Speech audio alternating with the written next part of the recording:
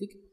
اور نوجوان کہے تو میں عام زبان میں کہتا ہوں کہ پندرہ سے لے کر پینتیس سال یہ عمر ہے۔ کیونکہ پینتیس کے بعد آدمی ڈھلنا شروع ہوتا ہے اور سفید بال آنا شروع ہو جاتے داڑھی میں اور عمر پھر ڈھلتی جاتی ہے اور جو کام کر چکا ہوتا ہے اس کو سنبھالنا ہی تھوڑا سا مشکل ہوتا ہے۔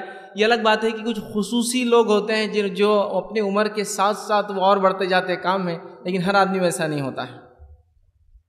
تو گویا پندرہ سے لے کر پینتیس سال کے لیے اگر ہمارے نوجوانوں کا کوئی پروگرام ہو پہلے سے بنا ہوا کہ کچھ کرنا ہے، اور اگر صحابہ کی زندگی کا بھی آپ مطالعہ کریں تو وہ صحابہ جن کی عمر پندرہ سے پینتیس کے بیچ تھی آپ صلی اللہ علیہ وسلم کے دور میں، بہت کارنامے انجام دیے انہوں نے۔ یقیناً میں بالکل نہیں کہہ رہا ہوں کہ اس کے بعد والوں نہیں دیے، حالانکہ خلفہ راشدین میں سے، سمجھ رہے آپ بات کو؟ لیکن میرا مقصد بولنے کا یہ کہ وہ جوش، وہ جو جذبہ آپ لوگوں میں ہوتا ہے، نوجوانوں میں ہوتا ہے، ظاہر سی بات ہے چھوٹے بچوں میں بھی وہ نہیں ہوتا ہے اور اس کی بعد کی عمر میں کم ہوتا چلا جاتا ہے۔ تو یہ بہت اہم چیز ہے کہ نوجوانوں کے لیے کوئی ایک ایسا پروگرام رکھا گیا ہے کانفرنس رکھی گئی تاکہ ہم کچھ باتیں اس میں سیکھیں، یاد رکھیں۔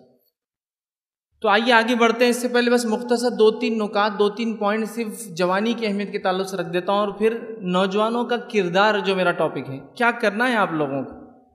دیکھیے، کچھ نہ کچھ دشا، کچھ نہ کچھ جس کو کہیں گے راستہ کس پر چلنا ہے، یہ یوتھ کے سامنے کلیئر ہونا ضروری ہے نوجوانوں کے سامنے کہ کیا انہیں کرنا ہے۔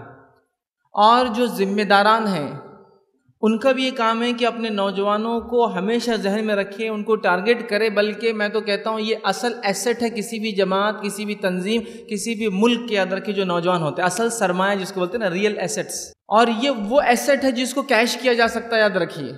وہ کام نوجوان انجام دے سکتے الحمد للہ اللہ رب العزت نے وہ صلاحیت اس عمر میں دے رکھی ہوتی ہے یاد رکھی۔ جان، پہچان، وسیلے، مال، دولت سب کچھ ہوتا ہے۔ ایک شخص اپنے زمانے کا بہت بڑا علامہ، بہت بڑا حاکم، بہت بڑا یہ، بہت بڑا وہ، بہت بڑا منسٹر رہا ہو، بڑھاپے میں کوئی گزرے بھی تو کوئی بولتے، پہچانتے کہ یہ آدمی کون ہے؟ تو دوسرا بولتا، نہیں نہیں پہچانتے۔ ارے، یہ اپنے زمانے کے بہت بڑے آدمی تھے۔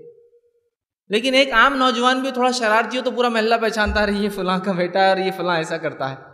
میں یہ کہنا چاہ رہا ہوں، آپ کی جان پہچان ہوتی ہے، آپ میں صلاحیت ہوتی ہے، طاقت، توانائی، پیسہ ہوتا ہے، تو اگر صحیح راستہ اگر مل جائے تو نوجوان بہت کچھ کر سکتے ہیں ماشاء اللہ اور ہم دیکھ رہے ہیں، نوجوان کر بھی رہے میں یہ نہیں کہہ رہا ہوں نہیں کر رہے، اس لیے بلایا گیا۔